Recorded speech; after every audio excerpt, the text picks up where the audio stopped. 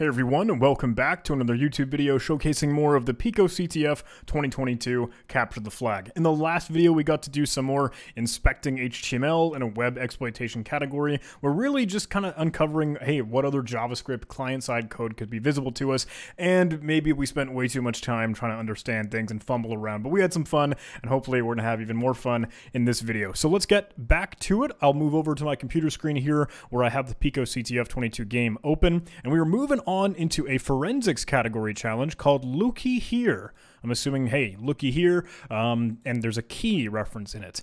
It says, hey, attackers have hidden hidden information in a very large mass of data in the past. Maybe they're still doing it. You can download the data here.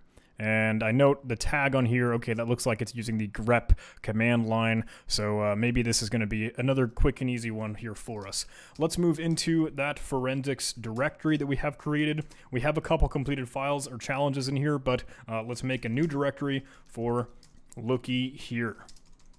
Move in there and we can wget to download this file. There we go. Now we have an anthem.flag.txt present.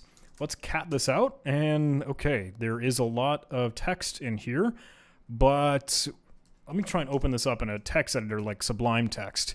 Um, apparently, it's not called flag.txt, right? It is called anthem.flag.txt. My Z shell autocomplete failed me.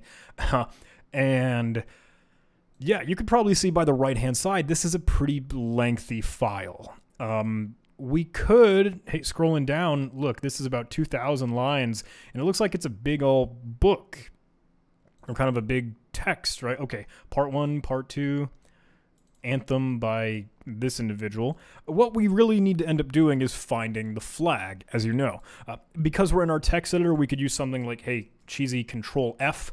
Um, let me control F for Pico CTF super easy. That works just fine for us.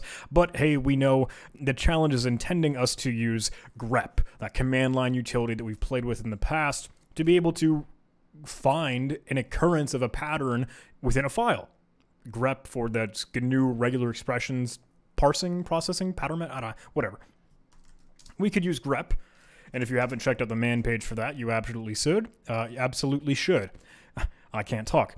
And you don't have to just cat Uh, input into it through a pipe. You don't have to like, hey, give it new stuff through the standard output stream into the standard input of the program. You can just pass the file right along to it if you wanted to.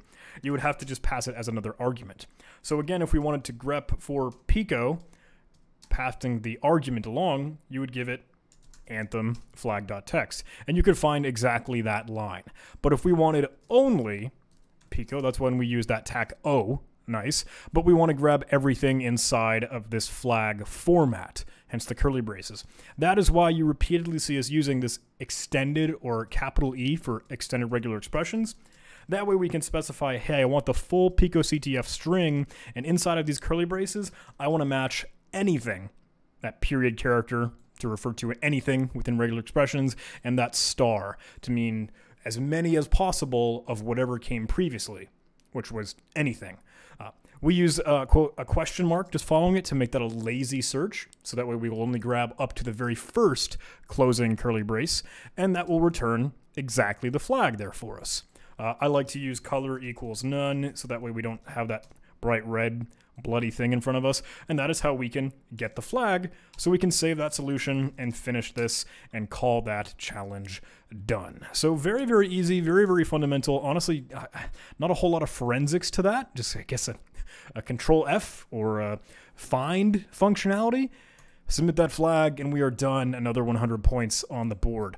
Um, I we're cruising along again. Not sure if this is really one worth uploading, but for the sake of posterity, for completion's sake, let's keep all these videos going. And I hope you're enjoying these. I hope they are, hey, maybe teaching you something new if you are new to this whole world of Capture the Flag, or if you're just getting started in Pico CTF, maybe these can still walk you through it, guide you, hold your hand a little bit, and I hope there's some good learning that comes from that. So if you enjoy these, please do all those YouTube algorithm things. That way, hey, these videos could reach more people to help them learn and get into cybersecurity. So do those YouTube algorithm things, like the video, comment, subscribe. Super duper helps the channel grow, everything that is a benefit to us and you and the community.